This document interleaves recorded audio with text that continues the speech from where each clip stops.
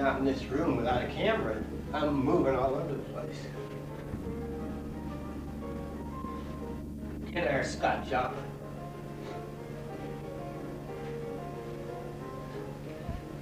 This is kind of a top pinky, side to side work uh, warm up.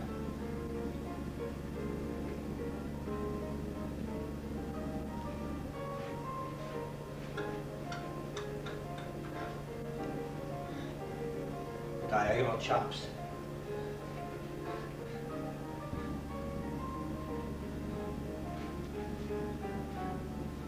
Now, push mode. There's considerable legwork being done here, even though it may not look like that from a head-on shot that way.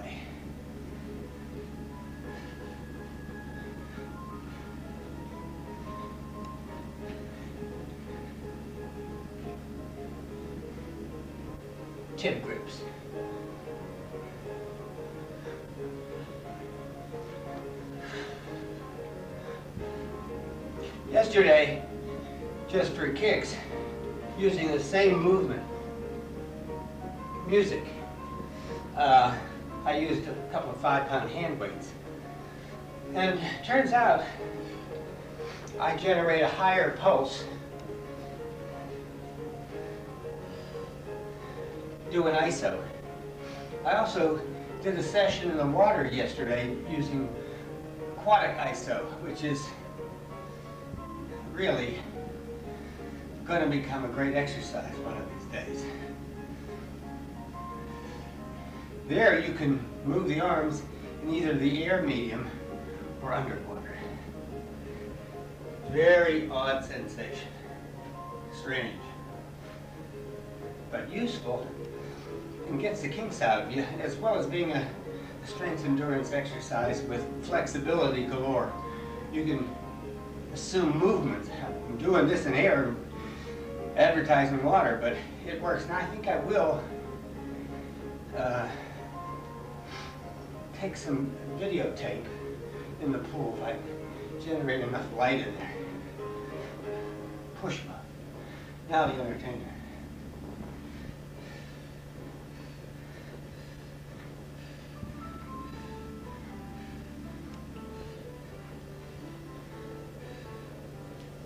Pull.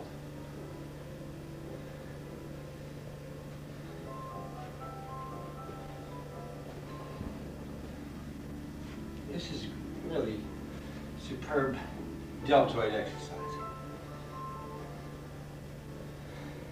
And this is a song which is a slower tempo that you would do with these hard pulls, pull aparts, you know. The slow pieces you want to work the strength in.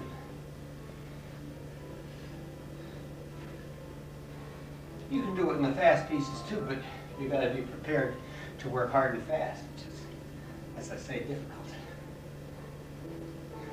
Now, bottom pinky.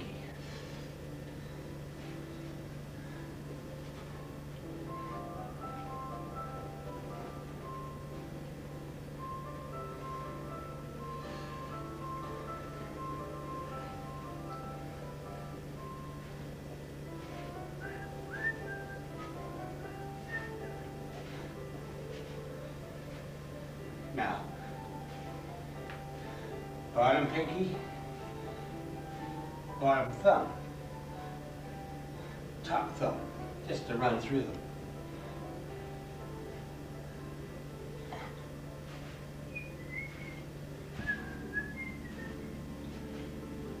These pieces go about three to five minutes, and there are lots of them on this particular album. Super workout for me, because it, it's all Scott Joplin, and I like that, but there's enough tempo uh, variety. See, as you get into the workout, you want to put more and more back in. You don't start with your tough back work right off the bat.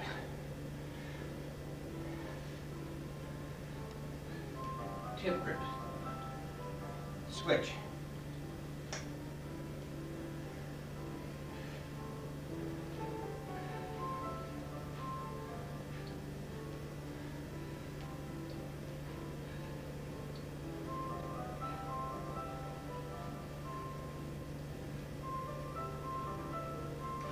The other day, my, my grandson and I went uh, down to the local college stadium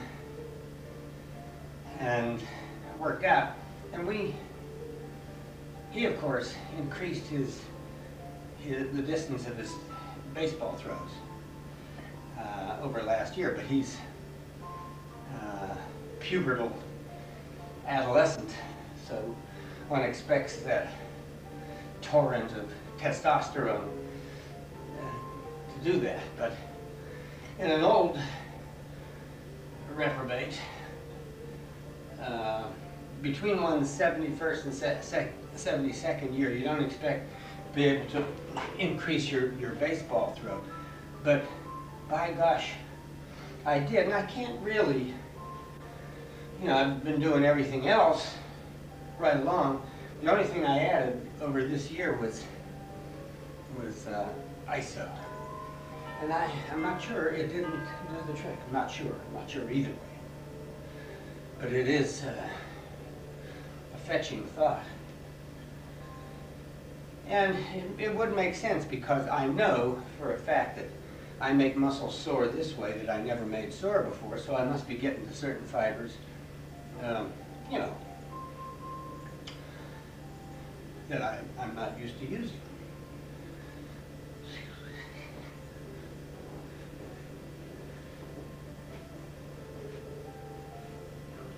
Now you want to do some pull-outs and get range of motion. After you do this for a, a year, you'll, you'll be way out. I think somewhere in one of the tapes, I suggested that you get your hands to travel two miles in a few minutes if you take them 10 feet.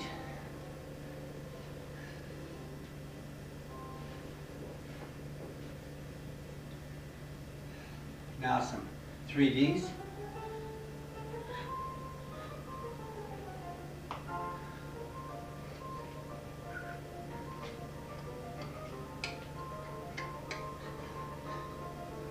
Now, secret here is how hard you're pushing. Guess that I'm pushing harder this year than I did last. That's what I've been shooting for, at least. One, one day we'll get somebody to rig up a little strain gauge of some sort, and put it inside here, and measure the forces within the hand connection.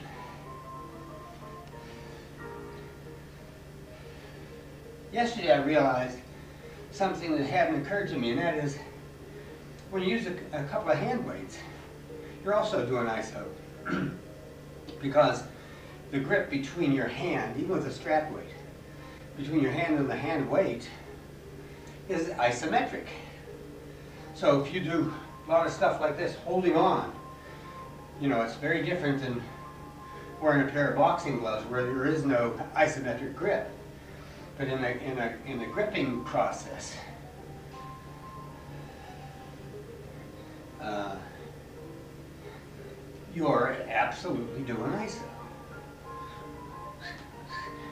Don't forget the slanted trajectories. Now, the, the thing about this stuff is, while biking looks like it's the same movement every time, it really is. And this, while it looks like it's the same movement, as long as I'm changing these directions in the trajectory, uh, and whether it's the top or the bottom hand that does the pulling or preventing, uh, I'm using different muscles. So the same movement, and I, I, I've said this uh, ad nauseum, I'm sure, but the same movement isn't really the same a pattern of muscle contraction. That's what exercise is all about. But, but then.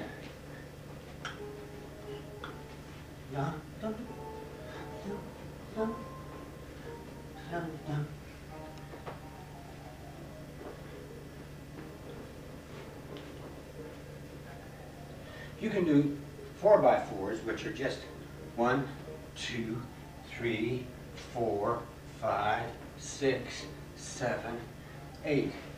You're not going forward, but you're getting the abductor movements of, of the hips. Abductors. Pull the leg away from the midline meaning.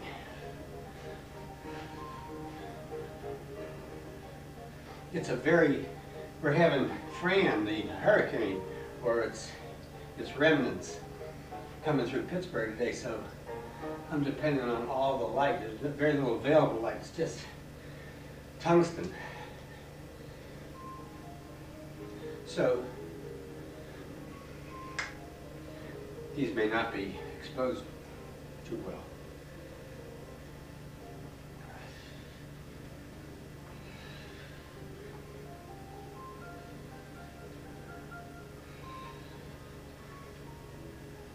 Now, you notice I'm doing these wood chops with a, a right hand down and right hand pulling up. I'm going to switch to left for symmetry's sake. Do great abdominals. It's the equivalent of doing a crunch, you know, kind of sit up. Except there's much more range of motion, much more force behind it, many more calories lost, and I can work obliques into, into the act.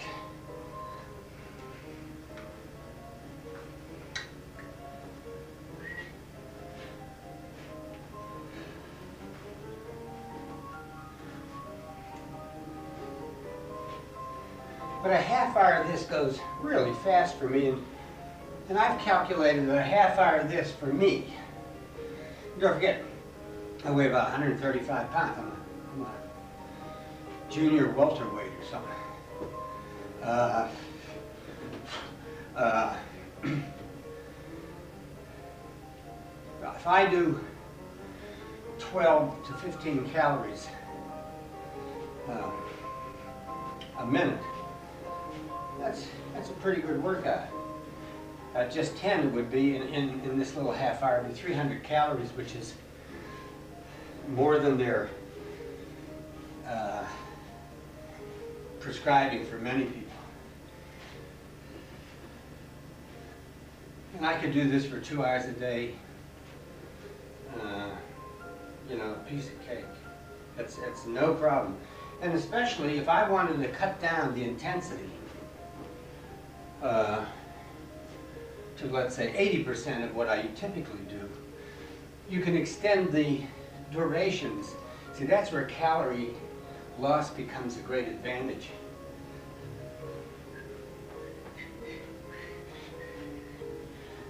Uh, you can do much more, lose calories. About the only thing that would be diminished a bit would be, uh, you know, the heart rate, uh, which would go from 90 to 80 or something like that. But uh, at a 70 heart rate, I can do eight hours a day of this stuff. I don't do it because I can't, but uh, it, it's, it's more than within range for anybody.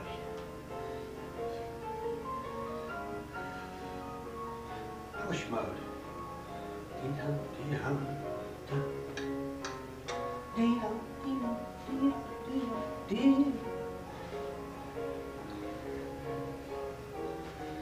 Scott Joplin must have knew about ISO.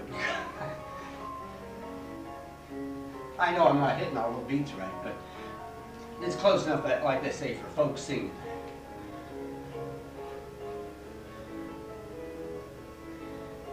Sometimes I do five to ten minutes just down in this position for a great quad workout.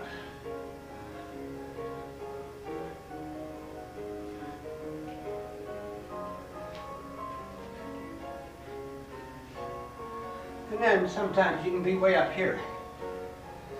And don't forget, if you hadn't read the book, don't forget these, with the forearms at right angles to one another.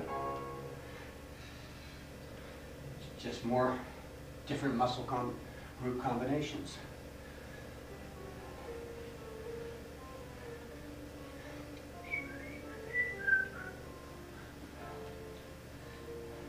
Bottom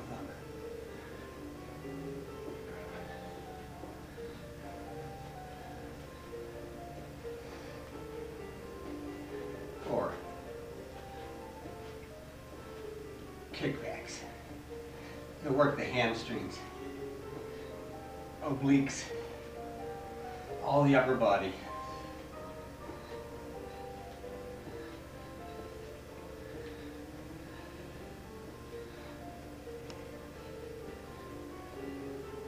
See how fast I can take a pulse.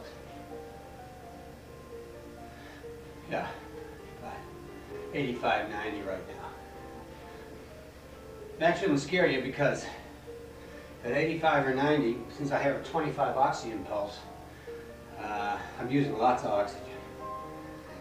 And people who are untrained in whole body exercise, doing exactly the same work, might have 150 heart rate, especially young people. Young people, I think, have faster heart rates partly because they have them. You know, when you age, uh, you lose heartbeats. That's why they have you subtract your, your age from 220 to get your maximum heart rate. So you're, you're really working in a, in a cardiomuscular sense much more efficiently as you get older because you're doing it on fewer heartbeats. That is if you keep the workload up.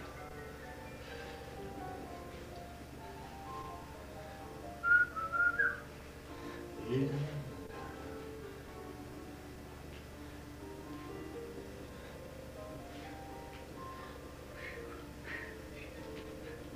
use this one to practice, I showed you this, to practice throwing. We call it 3D because that's what it is. It's a three-dimensional exercise.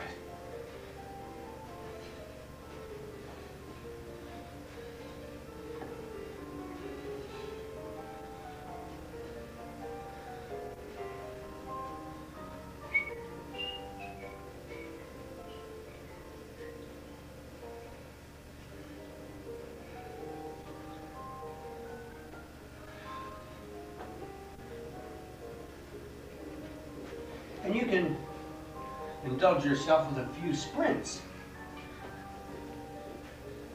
Point is to keep keep the tension up.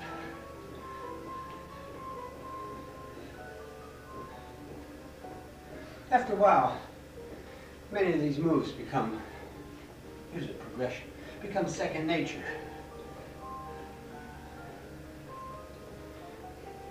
After a while, you get to be good. You can do a 360 on these. Go all the way around to the midline in the back. I'm not that good yet.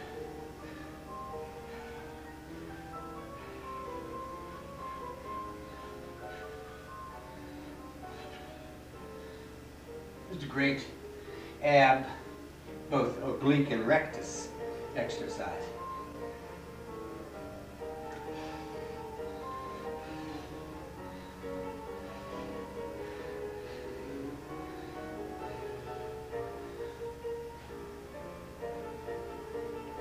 Figure out you to put a yellow shirt on today to get all the primary colors in.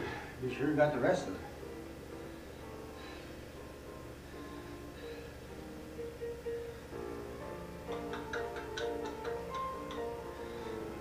Again, it may look as though I'm not working hard. And that's, that's the thing I fear most from you guys at HK, that you, you say, well, he's not doing anything. No, my heart belies that statement. Just by its, you know, for somebody um, pushing 72, a heart rate of, of 90 or 100, which I always generate just about, is plenty fast. Love this song. You could actually do this jogging if you wanted. My grandson does. He just, for that one, if you want a jog, doing upper body stuff, I, I prefer the hand weights for that. This is when the jogging trail doesn't beckon because of lousy weather or whatever.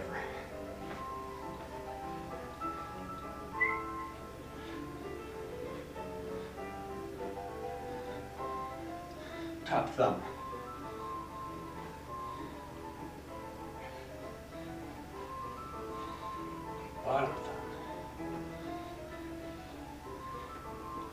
Bottom pinky. After a while, those four, now I have to add the top pinky, of course, but those four become like mainstays of your moves. And with a bunch of leg stuff thrown in. When you hop from side to side, and these are side to side exercises, make no mistake, you add about two mets to the workload, which is, well, which is seven milliliters of oxygen per kilo per minute. It's a lot. And to add two mets for me would be to add at least two, two, uh, whoa, where's my, hang on, hang on.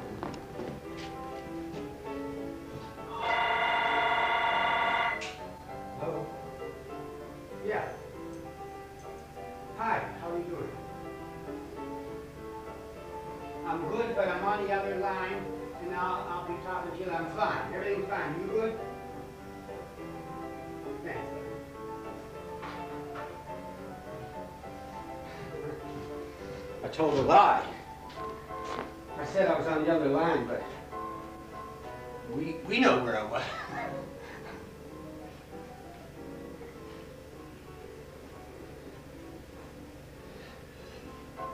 I'll call Eddie back.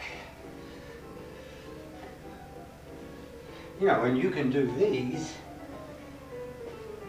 get up to really,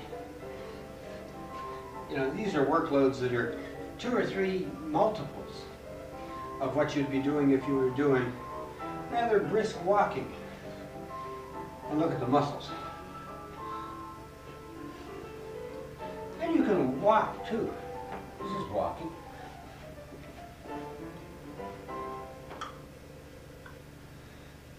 We're running out of Scott Joplin? I doubt it.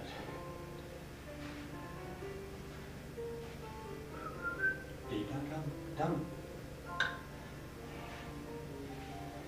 After a while, some people say, when you listen to a lot of Scott Joplin once, it kind of blurs and all sounds like the same thing, but it's not so. He's a fantastic writer of melodic line.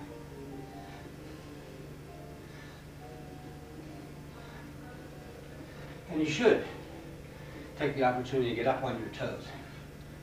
I don't know if you can see that in this.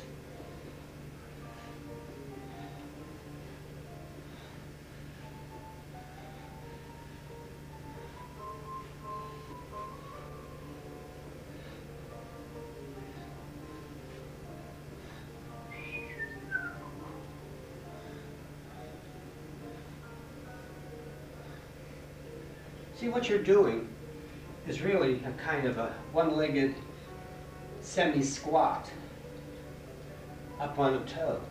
So there's considerable work in the vertical, which is part of what panaerobics is about. Part of it is, part of it is whole body exercise that is muscle loaded. Part of it is working in the vertical. Part of it is a, fit, a fitness factor mix, large mix of fitness factors thrown into every exercise, like strength, endurance, flexibility for beginners, for starters, not for beginners. And then the last thing is the development of motor skill.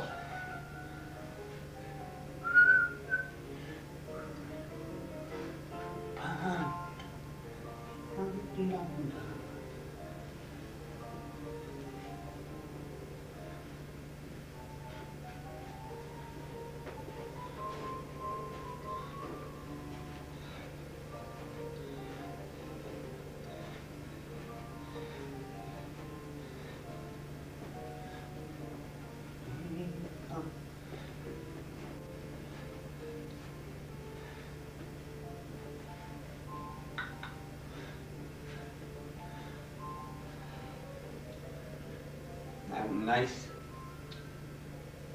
breathing depth and frequency. A little bit of gloss on my skin announces the fact that I'm getting a nice workout. Enjoying the music. What more could one ask for? Well, I could ask for a huge gym with $50 million worth of equipment, but I don't know that I'd do any better with that.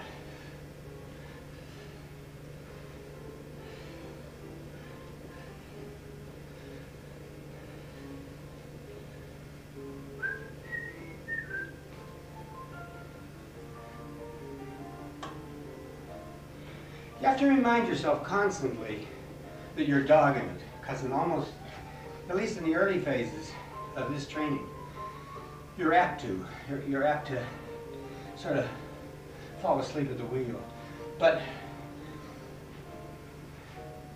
when you think that strength endurance is the product that you're looking for mostly, and then flexibility, just that, it's not even a verbal reminder inside your head. It's, it's just, you're checking out the HC to see what's going on there.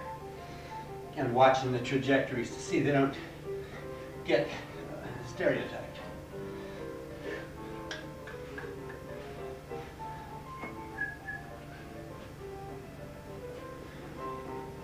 It's also a very good piano player. I've tried Scott Joplin on the piano, and he's too tough for me.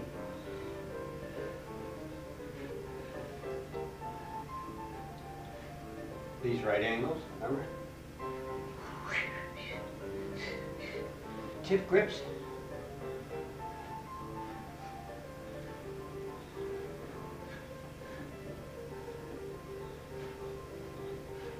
Pull out these tip grips for switch. Elbows up.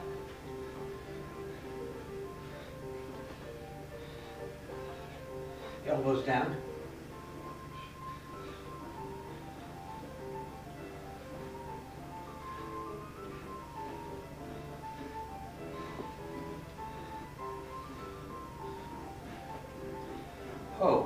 Haven't done any clasps. This is one where the palms are right angles to one another.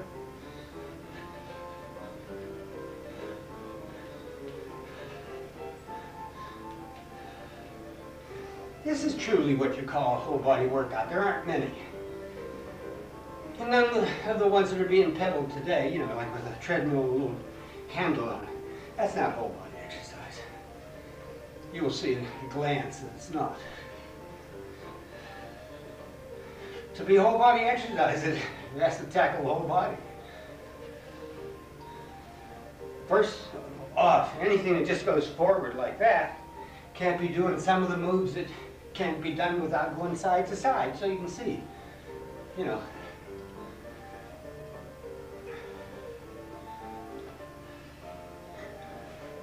the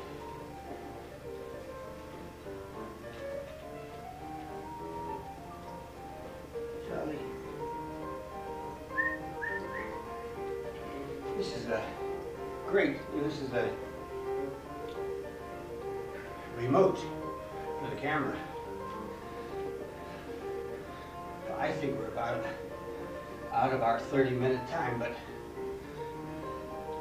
unless I can think of something else I forgot to tell you.